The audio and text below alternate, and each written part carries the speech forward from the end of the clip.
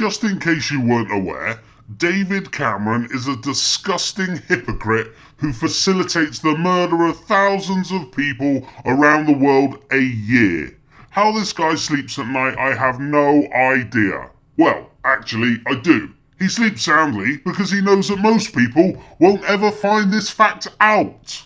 It's because the swivel eyed, wobbly headed Kardashian fans will believe every single word he says. In recent speeches, Cameron's been spewing on about how he's going to clamp down on extremists and he fears a terror attack will happen in the UK which will kill innocent people, just like Peter Power's 7 7 terror training drill, which turned into reality in 2005, just as that killed innocent people. Cameron bombed Libya in 2011 to apparently save the Libyan people from Gaddafi. In the process, they estimated the bombs also killed 60,000 innocent people, a fact Cameron has neither apologised for or even acknowledged. Libya, which since the bombing is now gripped by violence, has warring factions and has now become a major breeding ground for ISIS. One of the main funders of ISIS is Saudi Arabia.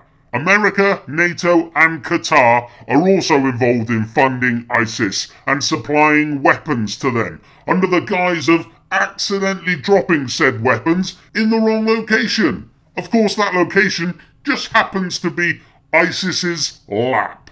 And if you believe that, then you're probably a Kanye West fan and worry more about how many likes you have on your latest pouty selfie than terror attacks and people being murdered. Saudi Arabia have recently been peppering Yemen with bombs over the last few weeks and have so far killed approximately 4,900 people, most of which are innocent people. Nothing wrong other than getting in the way of Saudi Arabia's bombs, and these facts aren't being reported by the news. But this is where Cameron comes in. These people in Yemen are being killed with weapons sold to Saudi Arabia by British arms companies, and Cameron knows it. And the media knows it, but they keep mum because Saudi Arabia is in fact Britain's most lucrative arms market. And no one wants to spoil the gravy train now, do they? After all, who cares about people thousands of miles away, eh? What is Cameron doing about the Saudi slaughter in Yemen? Absolutely nothing. He seems happy to just ignore nearly 5,000 innocent people being killed by weapons that he helped facilitate the sale to Saudi Arabia. Cameron will do anything for big business, absolutely anything.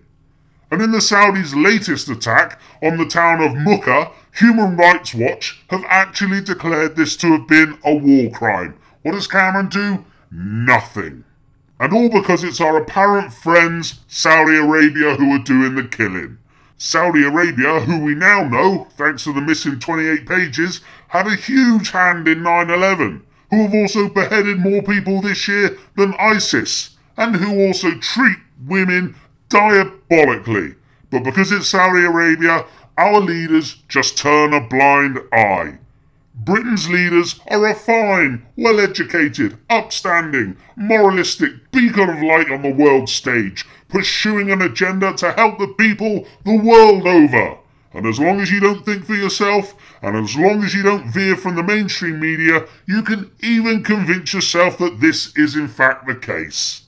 However, if you look behind the curtain, you will see that the leadership of Britain, as with most of the Western world, are in fact a bloodthirsty, power crazed, murdering, despicable, paedophile littered, hate filled bunch of hating narcissists who only care about their own well being and their own bank balance. Cameron doesn't care about 4,900 innocent people being killed by our weapons in a land far away. And just to show that the Labour Party are just as bad as the Conservatives because they're all in it together, in 2009 over 70,000 civilians were killed in Sri Lanka with weapons sold to the Sri Lankan government when Labour were in power. Our leaders don't value human life. Stop kidding yourself that they value yours. They don't. They see you as a cash cow to be sucked dry and used in any way they see fit.